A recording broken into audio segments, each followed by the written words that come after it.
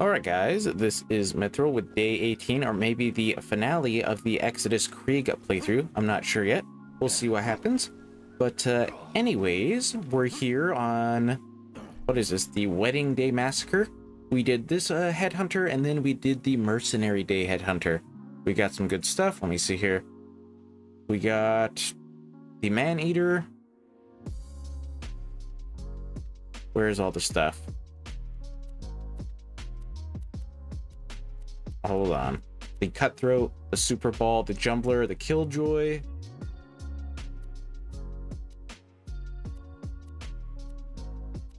Uh, the Slide, the Monty. The Grubstaker, the Arctic Fox, the Murph. All these skins I need to get rid of. The Monty. And I think that may be everything. It looks like it. Here's the build. No bar. And now, first thing I'm going to do is do this. Put in this code. And, hmm, cannot verify this code, huh? Okay, there we go. There's one. Let me grab the other code. These are all redeemable codes. Hold on. Okay. Okay, sweet. So, the first one, let me just bring up the page. Okay, so it's a blue rocket launcher. Here it is, the Crimson Sky. Let's put it here. It's a very red. It's a Vladof. That fire rate, though, that is awful. That reload speed is awful. Mag size of 1. Okay, then its red text is once a raider, always a raider. 4 ammo per shot. Okay. What do you do?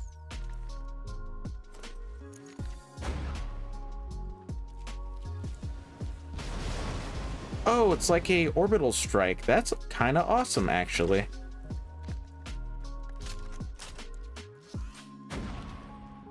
It still actually takes four ammo per shot, it looks like. So I have 31 total ammo for my rockets, and now I have 27. So yeah, it still takes all of that ammo. That's pretty awesome, though, the orbital strike. All right, let me bring over its page. Always fire, locked Parts, spawns a Crimson Raiders beacon, which will call an airstrike on that location for a few seconds. Yeah, you just go right here, get the code, and then uh, just put it in the console. All right, and then the next item is a blue shotgun.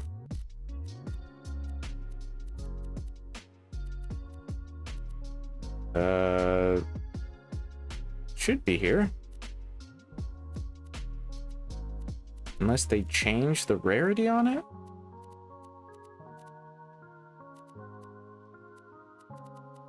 I may have to put in the code again because I do not see it.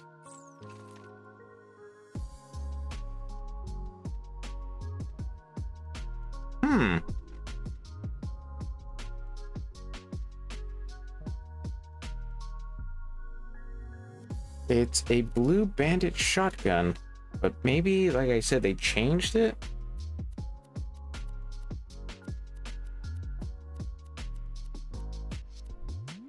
That's the Crimson Sky. Huh. Yeah, I have no idea where it is.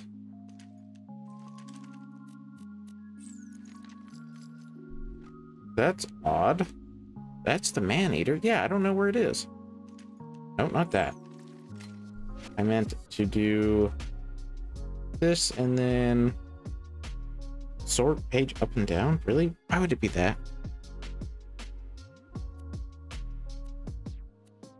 Brand types. It's a shotgun. Yeah, it's not here. Okay, that's odd. Let me just bring over the page, I guess. Because it said I redeemed it. So here it is, the show. Yeah, I definitely did not see that. Fire rate is pretty slow. Reload's about okay for a bandit, 19 mag. Its red text is hashtag ass bandits. 4 ammo per shot, huh? Fires a single rocket that spawns confetti and fireworks. Is a reference to a YouTube Borderlands Machinima by Glorious George. Yeah, weird. I wonder why it's not here. Hmm. Yeah, that's that's odd. I don't see it. Well, anyways, let us continue on with the video finally. Okay, so we need to farm Crawmerax, or the son of Crawmerax the Invincible, for four items, it looks like.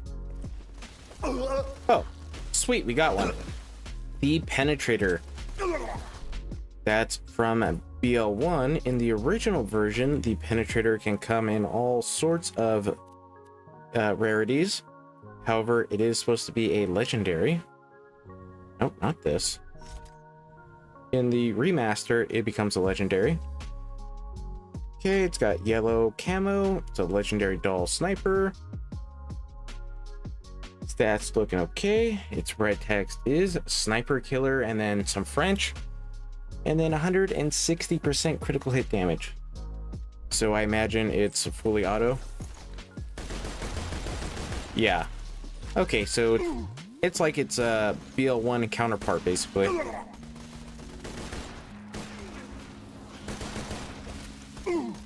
All right, let's see here. The penetrator, here we go.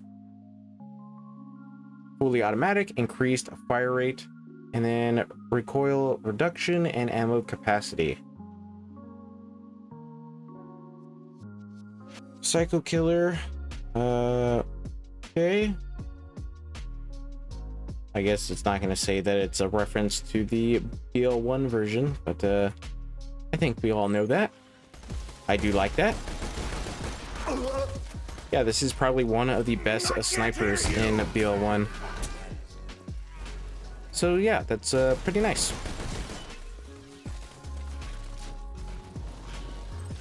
Hey, we got a new one, the Crux. Man, the Crux on Brick or Roland, top tier. Where is it, the Crux? Here it is. We can put it uh, here. Okay, times 11, not very accurate. Slow fire rate, reloads okay, 25 mag.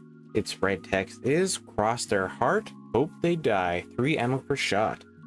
So I imagine it's just like the Crux from the uh, first game. Yeah. Yep. Looks like it. Yeah, on brick. Ooh boy. This thing can get a going. All right, awesome. I'm seeing a theme here. It looks like the son of Crawmerax is going to drop pretty much uh, BL1 weapons. Let me bring over its page of the crux. Come on. Spread patterned is an upright cross, explosive splash. Uh, of cross. Cross my heart, hope they die by SNES. Yeah. In uh, BL1, they didn't have Bandit or COV, they had S&S munitions. Alright, awesome. Do you like it?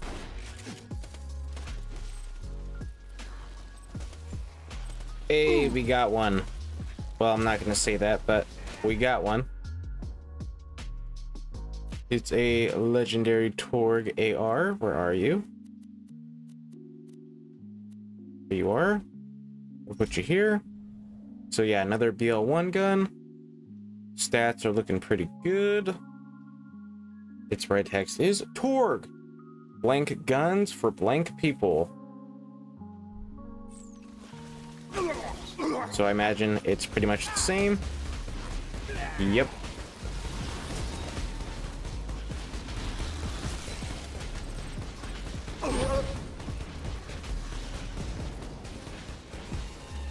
Yeah. Feels the same. It has increased damage, fire rate, and mag size, but it has lower accuracy and increased recoil.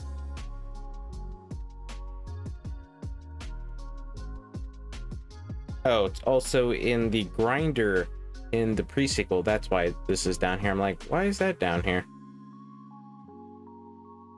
But yeah, it's pretty much just the uh just the BL1 weapon. Alright, one last weapon to find from Crawmerax. Or the son of Crawmerax. Oh! Finally, we got the Rhino. Man, that took forever. That was like half an hour of nothing. Okay, the Rhino. I think I passed you. Oh, that's the binary. Here it is. Put it here. Okay, the Rhino. A legendary Maliwan rocket launcher. Very blue. Slow fire rate. Long reload. That is a long reload right there. For mag. Its red text is the unstoppable force. So I imagine it does the same thing as in the first game. Yeah, looks like it.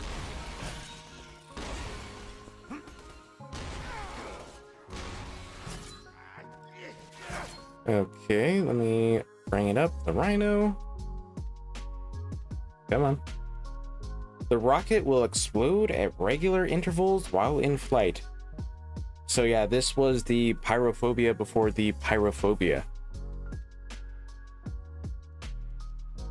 Okay, it's also in the pre-sequel, looks like, yes. Alright, that is all of the items from the Son of Crawmerax. Now we can move on. Okay, we come back over here to Hammerlock, and we get the Victims of Vault Hunters quest. Okay, we turn it in and we get the fratricide. I think is how you say that, the fratricide. So it's a blue Tediore SMG. Please put you here. Stats are looking okay. That reload time is kind of long for a Tediore. Its red text is the only thing more accurate than incoming enemy fire is incoming friendly fire. We get 25% melee damage. Its slag, what does it do?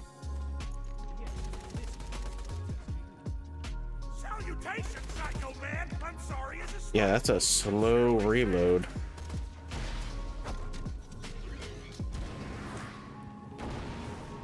Okay, but it's like the baby maker. It explodes and drops a grenade. Hmm.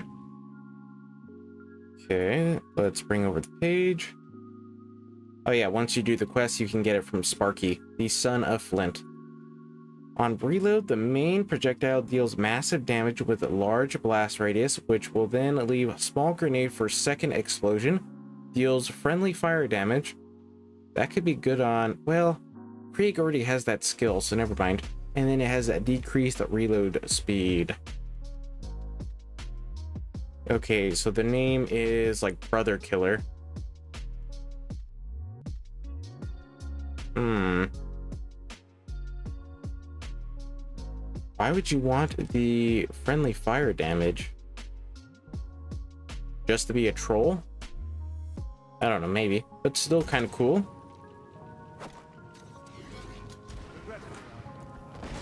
All right, we have one more item, and that is from Sparky, the son of Flint. Oh, we got it. Nice. The Boomstick MK8.00B. But I think we all know what that last uh, part stands for. Okay, what can I get rid of? Uh, let's get rid of this one. Okay, let's put this here. So the boomstick, not accurate at all. Its damage is pretty low. Fire rate's okay. Reload speed is pretty slow for mag. Its red text is way beyond groovy. consumes one ammo per shot, 50% critical hit damage, 25% melee damage. So I imagine you do what the original boomstick does. Yep.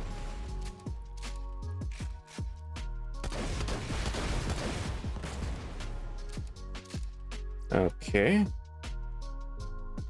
It shoots rockets, expands six round magazine with one pull the trigger, heavily decreased accuracy, can spawn with any element dealing additional elemental splash damage on impact. And then it's a reference to Sam Raimi's, Raimi's YouTube Army of Darkness movie. Okay, then it's a flashback to the force, uh, the force, the first Borderlands, the boomstick from Baron Flint. How many does this have in the magazine? This has six. Mine has what, four? Yeah, I only have four.